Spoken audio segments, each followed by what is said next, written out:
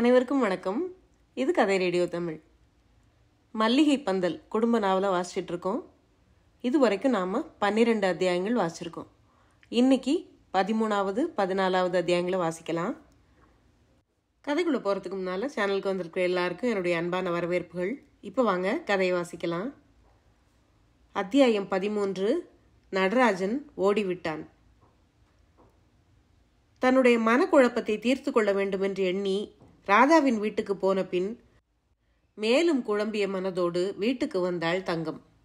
அவளால் வீட்டிற்குள் இருக்கவே முடியவில்லை. ஆகவே தோட்டத்திற்குள் நுழைந்து மல்லிகை பந்தலின் அடியில் ஒரு சிலை போல உட்கார்ந்து சிந்தனை வயப்பட்டிருந்தாள். அவள் எவ்வளவு முயன்றும் ராதாவின் பேச்சுக்களை அவளால் மறக்கவே முடியவில்லை. அவள் நடராஜனை பற்றி கூறிய ஒவ்வொரு வரியும் அவள் உள்ளத்தில் ஒவ்வொரு படி அவனை பற்றிய மதிப்பை உயர்த்துவதாகவே இருந்தது. இவ்வளவு நாளும் தங்கம் நடராஜனை மிகவும் சாதாரணமாகவே எண்ணிக்கொண்டிருந்தாள். இப்போது ராதா பேசியதை பார்க்கும்போது அதே நடராஜன் பெரிய மலையின் மீது மிக உயரமான உச்சியில் ஒளி வீசுகின்ற ஜோதி போல தோன்றினான். இவ்வளவு நாளும் தனக்கு அவனை பற்றி இந்த மாதிரியான கருத்து தோன்றாத போது ராதாவுக்கு மட்டும் அது எப்படி தோன்றியது என்று அவள் ஆச்சரியப்பட்டாள். ஒருவேளை ராதா அவன் மீது கொண்டிருக்கிற காதலால் அவனை இப்படி உயர்த்தி பேசியிருக்க கூடும் என்ற எண்ணம் தங்கத்தின் இதயத்தில் திரும்ப திரும்ப தலை தூக்கியது. ஆனால் அதே சமயம் தான் விரும்புகிற சுந்தரேச சாத்தான் மீது தனக்கு இந்த மாதிரி எந்த கருத்தும் உண்டாகவில்லையே என்றும் தங்கம் நினைத்தாள்.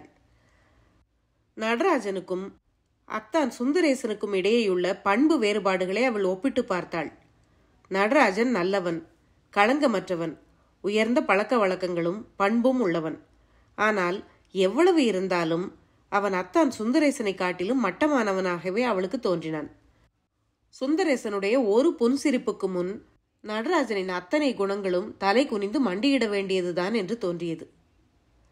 அத்தானுக்கு இந்த நல்ல குணங்கள் குறைவுதான் என்றாலும் அவரிடமிருந்த கவர்ச்சிக்கு முன் எதுவுமே எதிரில் நிற்க முடியாது என்று அவளுக்கு தோன்றியது. இப்படி அவள் மனதில் எண்ணங்கள் ஓடிக்கொண்டிருந்த அதே சமயத்தில் அவள் ஆச்சரியப்படும்படியாக அவளுக்கு எதிராக நடராஜனே வந்து நின்றான்.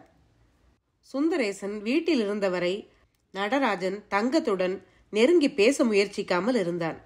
இப்போது சுந்தரேசன் இல்லாதபடியால் அவளை கண்டு பேசலாம் என்று முடிவு கட்டிக்கொண்டு அவள் வீட்டிற்கு வந்தான். ராதா சொன்ன விஷயங்களை மனதில் நினைத்து கொண்டே தங்கம் அவனை நிமிர்ந்து பார்த்தாள். அவனை பார்க்க பார்க்க அவளுக்கும் ராதாவின் இதயத்தில் ஏற்பட்ட அதே உயர்வான எண்ணங்களே உண்டானது. எல்லா வகையிலும் நிறைவான நடராஜன் அவனுடைய ஒரு கை ஊனப்பட்டிருந்த காரணத்தால் அவளுக்கு பிடிக்காதவனாகிவிட்டான். தங்கம் உன்கிட்ட நான் ஒரு விஷயம் கேட்கணும்னு தான் வந்தேன் என்று நடராஜன் பேச்சை ஆரம்பித்தான். தங்கம் பதில் எதுவும் சொல்லவில்லை. ஆனால் அவன் சொல்லுவதை கேட்க தயாராக இருந்தாள். தங்கம் ஓ மனசுல என்ன இருக்குன்னு எனக்கு தெரியாது. ஆனா என் மனசுல இருக்கிறத நான் சொல்லிடுறேன். கேளு. கேட்டுட்டு அதை பற்றி நீ என்ன நினைக்கிறங்கிறதையும் சொல்லு. பல நாட்களுக்கு முன்னால என்னோட அப்பாவும் உன்னோட அப்பாவும் சேர்ந்து நமக்கு திருமணம் செய்து வைக்கிறத பத்தி பேசிக்கிட்டாங்களாம். அப்போ நான் ஒரு பைத்தியக்காரனா இருந்ததால எந்த முடிவும் எடுக்க முடியலையாம். இப்போ நான் பைத்தியமும் இல்லை. இனிமேலும் நான் பைத்தியமா மாற மாட்டேன்னு உனக்கு உறுதியா தெரிஞ்சிருக்கும். அதனால தான் உன்கிட்ட இதை பத்தி பேசணும்னு நான் நினைச்சேன். உனக்கு என் மேலே அன்பு இருக்கா? அப்படி அன்பு இருந்தா நீ என்னை கல்யாணம் பண்ணிக்க முன் வருவியா? இதை தெரிஞ்சுக்கிறதுக்காகத்தான் நான் உன்னை தேடி வந்தேன் என்றான் நடராஜன். அவன் பேச்சு ஒரு காதலனுடையதை போல் இல்லை. அப்படி இருந்திருக்குமானால் தங்கம் அவ்வளவு நேரம் அதை பொறுமையாக கேட்டுக்கொண்டிருந்திருக்க மாட்டாள். அவள் நேரடியாக அவன் முகத்தை பார்த்து தயவு செய்து இனிமே இதை பத்தி என்கிட்ட பேசாதீங்க என்று சொன்னாள். நடராஜனும் ஆதரவான பதில் கிடைக்கும் என்ற நம்பிக்கையுடன் வரவில்லை. சந்தேகமான மனநிலையுடன் தான் வந்திருந்தான். அதனால் தங்கத்தின் பதில் அவனுக்கு அதிர்ச்சி அளிக்கவில்லை. பிறகு மீண்டும் தங்கத்திடம் கேட்டான். அப்படின்னா உனக்கு என் மேல அன்பே இல்லையா தங்கம்? அன்பு இருக்கு. ஆனா காதல் கிடையாது. உங்களை காதலிக்க என்னை விட பொருத்தமா இன்னொருத்தி இருக்கா? என்றாள் தங்கம். அவள் சொன்ன இரண்டாவது செய்தியை காதில் வாங்காமலே அவன் விடுவிடுவென்று நடந்து போய்விட்டான். அதை பற்றி தங்கம் கவலைப்படவில்லை. மறுநாள் மாலை முருகேச வாத்தியார் கந்தசாமி வாத்தியாரை தேடிக்கொண்டு வந்தபோதுதான் தங்கத்திற்கு கவலை ஏற்பட ஆரம்பித்தது. முருகேச வாத்தியார் வீட்டுக்குள் நுழையும் போதே அவருடைய முகத்தில் பதற்றத்தின் அறிகுறி தெரிந்தது. வீட்டிற்குள் வந்ததும் கந்தசாமி நேத்துல இருந்து என் மகன் நடராஜனை காணலை. எங்கே போனானோ தெரியலையே என்று கதற ஆரம்பித்து விட்டார். அப்போது மேலே இருந்த அண்ணாமலை பண்டிதர் கீழே இறங்கி வந்தார். அவரை பார்த்தவுடன் முருகேச வாத்தியார் சின்ன குழந்தை போல் தேம்பி தேம்பி அழுது கொண்டே ஐயா நான் எவ்வளவு அருமையா வளர்த்தேன். என்னைக்கும் என் சொல்லுக்கு மீறி பேசாதவன். இப்போ எங்க போனான்னு தெரியலையே. பைத்தியக்காரனா இருந்தப்போ கூட என் அனுமதி இல்லாம எதையும் செய்ய மாட்டான். ஆனா இப்போ என்கிட்ட சொல்லாம எங்கேயோ போயிட்டான் என்று பதைத்து பதறி அவர் கதறிய காட்சியை காண மனம் வருந்தியது. பதற்றப்படாதீங்க. எங்கேயாவது போயிருப்பான். சொல்லிட்டு போக சந்தர்ப்பம் கிடைச்சிருக்காது. திரும்பி வந்துருவான். ஒரு ஆண் பிள்ளை காணாம போனதுக்கு நீங்க இப்படி அழுறது நல்லாவே இல்லை என்று சொன்னார் அண்ணாமலை பண்டிதர். ஐயா அவன் சொல்லாம போயிருந்தா மட்டும் நான் இவ்வளவு கவலைப்பட மாட்டேன். அன்னைக்கு தங்கத்தை தேடி அவன் போனதை பற்றி கூட நான் கவனிக்க கூட இல்லை. இப்போ அவன் ஒரு கடிதம் எழுதி வச்சுட்டு போயிருக்கான். அதுதான் எனக்கு கவலையாயிருக்கு என்று சொல்லிக்கொண்டே தன் பையில் இருந்த ஒரு காகிதத்தை எடுத்து அண்ணாமலை பண்டிதரிடம் கொடுத்தார். கொடுக்கும்போதே அவருடைய கைகள் நடுங்கின. அண்ணாமலை பண்டிதர் முதலில் அந்த கடிதத்தை மனதுக்குள் படித்து கொண்டார். பிறகு கந்தசாமி வாத்தியார் முதலியவர்கள் அதில் இருக்கிற விஷயத்தை அறிய ஆவலுடையவர்களாய் இருப்பதைக் கண்டு அதை வாய்விட்டு படிக்கலானார்.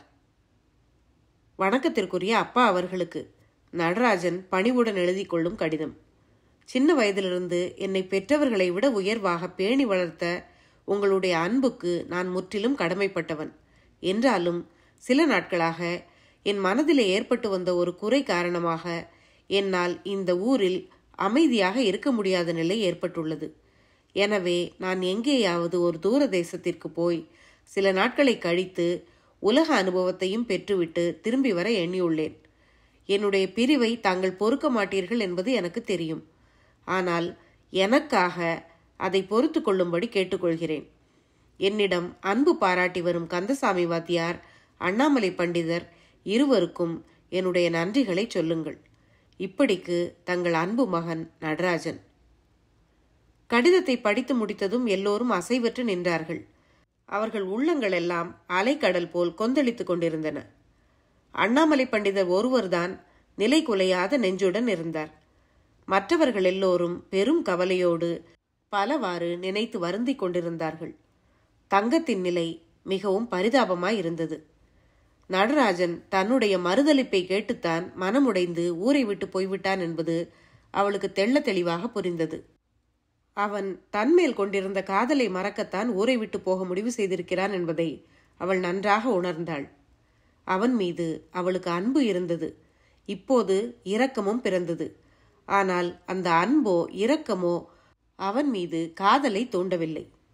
அப்போது அங்கு இருந்தவர்களை நோக்கி அண்ணாமலை பண்டிதர் ஒரு கேள்வி கேட்டார். இங்க இருக்கிறவங்க யாருக்கிட்டையாவது நடராஜன் போறதுக்கு முன்னால ஏதாவது சொன்னானா? என்று கேட்டார். யாரும் பதில் சொல்லவில்லை. மறுபடியும் அவர் தங்கத்தை பார்த்து ஏன் தங்கம்? ஓங்கிட்ட கூட நடராஜன் எதுவும் சொல்லலையா? என்று கேட்டார். தங்கம் திடுக்கிட்டு திரும்பி அவரை பார்த்தாள். கூர்மையான அவருடைய கண்களை அவளால் சந்திக்க முடியவில்லை. சட்டென்று தலையை குனிந்து கொண்டாள். நடந்ததை சொன்னால் மற்றவர்கள் தன் மீது கோபமும் வெறுப்பும் கொள்வார்கள் என்பது உறுதி. அதிலும் முருகேச வாத்தியாருக்கு தன்னால் தான் நடராஜன் ஊரை விட்டு போய்விட்டான் என்ற எண்ணம் தோன்றும் என்று அவளுக்கு தெரிந்தது. ஆகவே நான் அவரை பார்க்கவே இல்லையே என்று ஒரு சிறு பொய்யை சொல்லி வைத்தாள். அந்த பொய் சின்னதாயிருந்தாலும் அவளை பெரிய நெருக்கடியொன்றிலிருந்து தப்ப வைத்தது. பேசி முடித்த பிறகு முருகேச வாத்தியார் தன் வீட்டுக்கு திரும்பிச் சென்றார்.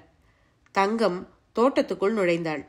அவளுடைய முகம் ஒரே வாட்டமாயிருந்தது.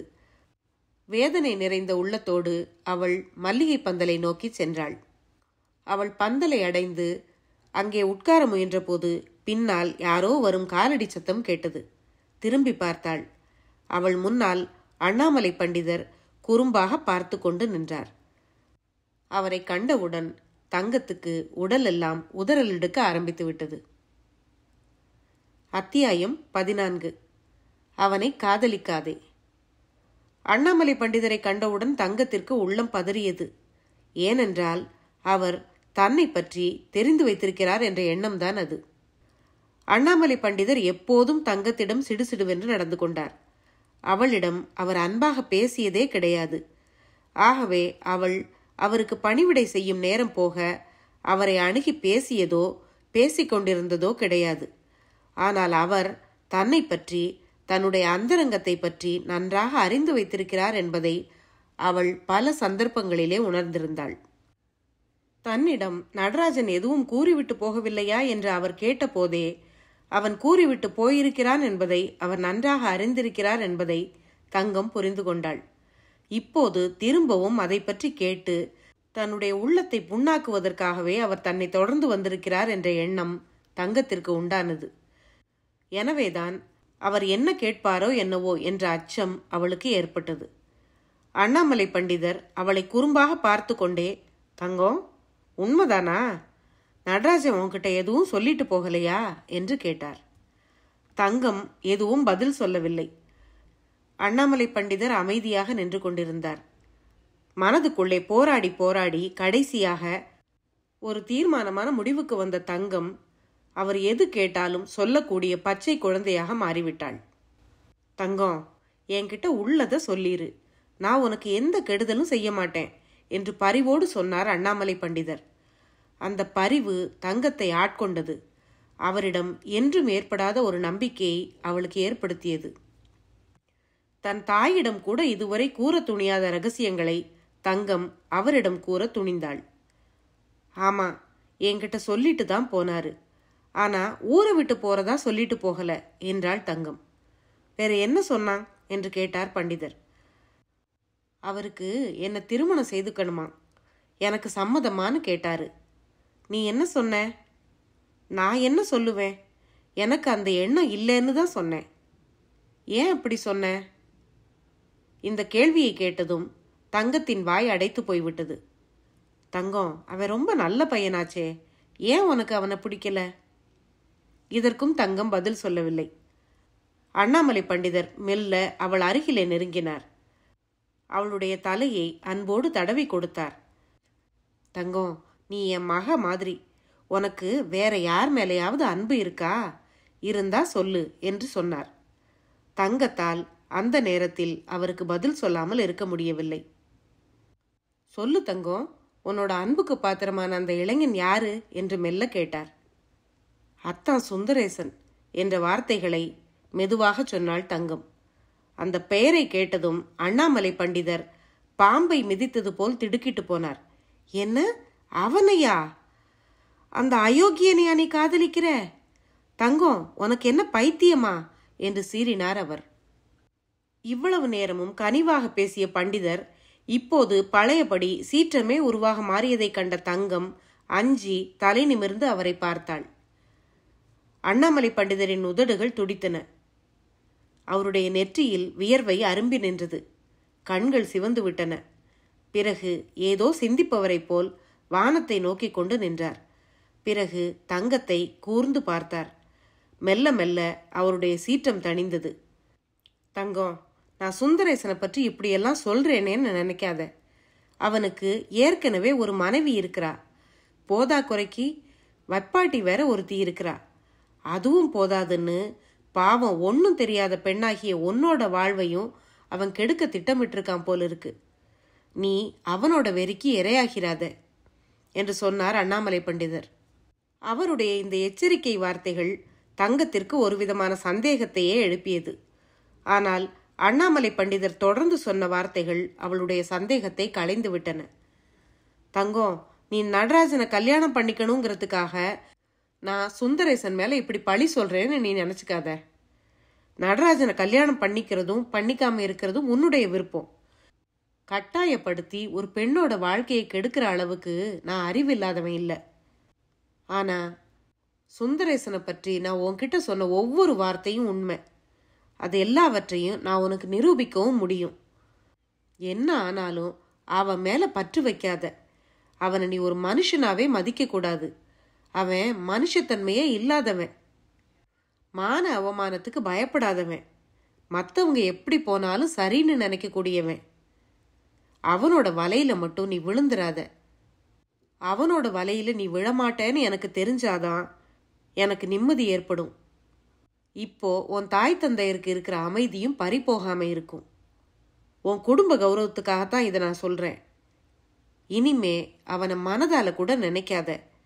படபடவென்று சொல்லிவிட்டு அண்ணாமலை பண்டிதர் விடுவிடுவென்று வீட்டை நோக்கி நடந்து விட்டார் அவர் சொன்னதை கேட்ட தங்கம் ஒன்றும் புரியாமல் விழித்துக் கொண்டிருந்தாள். அண்ணாமலை பண்டிதர் அத்தான் சுந்தரேசன் மேல் ஏன் இத்தனை தூரம் வெறுப்பாக பேசுகிறார்? என்று அவள் எண்ணி பார்த்தாள். அவர் பேசுவதை கேட்டபோது ஒரு சமயம் அவர் சொல்வது உண்மைதான் என்று தோன்றியது. அடுத்த கணமே சேச்சே அப்படி இருக்காது என்றும் தோன்றியது. இருந்தாலும் தன் உள்ளத்தில் பதிந்துவிட்ட அத்தான் சுந்தரேசனின் உருவத்தை அவளால் நீக்க முடியவில்லை. அண்ணாமலை பண்டிதர் போவதையே பார்த்து கொண்டிருந்த தங்கம் அவர் வீட்டுக்குள் சென்று மறைந்ததும் தரையில் சிறிது நேரம் உட்கார எண்ணி குனிந்தபோது அவளுடைய தோளை யாரோ பிடிப்பது போல் இருந்தது தங்கம் திடுக்கிட்டு திரும்பி பார்த்தாள்.